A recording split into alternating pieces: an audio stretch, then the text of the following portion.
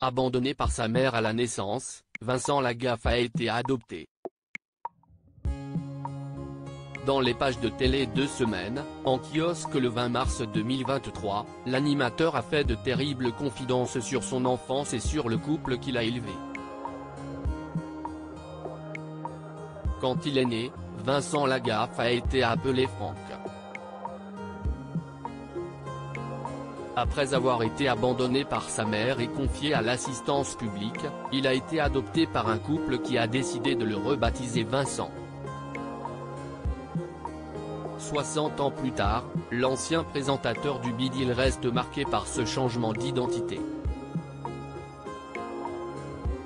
Quand on change de prénom à deux ans, je peux vous dire qu'à 60 ans je me retourne toujours quand j'entends Franck.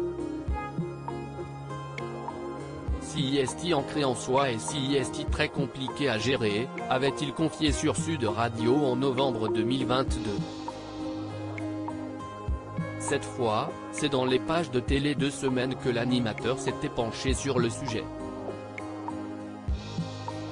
Quand on vous appelle Franck pendant trois ans et que vous devez répondre au prénom de Vincent du jour au lendemain, si est compliqué. On vous retire un peu de votre identité. Je pense qu'on ne guérit pas de sa naissance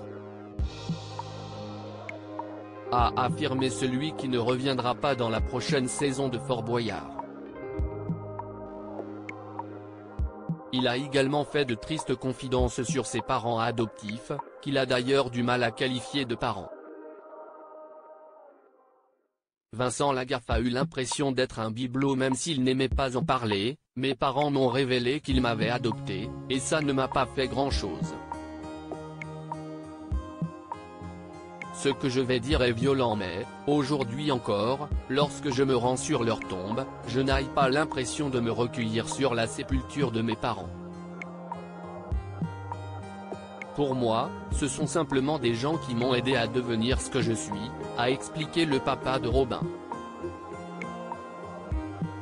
et d'ajouter qu'il a été marqué par le comportement de ses nouveaux parents juste après son adoption, je me souviens d'un après-midi où ma mère avait invité ses copines pour me présenter, exactement comme si mes parents exhibaient la nouvelle bagnole qu'il avait achetée.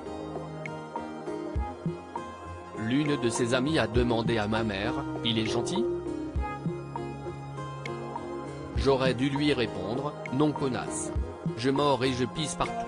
J'ai toujours eu l'impression d'être un bibelot, une attraction dans cette famille. Au plus mal durant son enfance, Vincent Lagaffe s'est souvenu, à 13 ans, je ne pensais qu'à fuir. Une terrible histoire qu'il raconte plus en détail dans sa première autobiographie, Je m'appelais Franck, à paraître le 23 mars aux éditions EXO.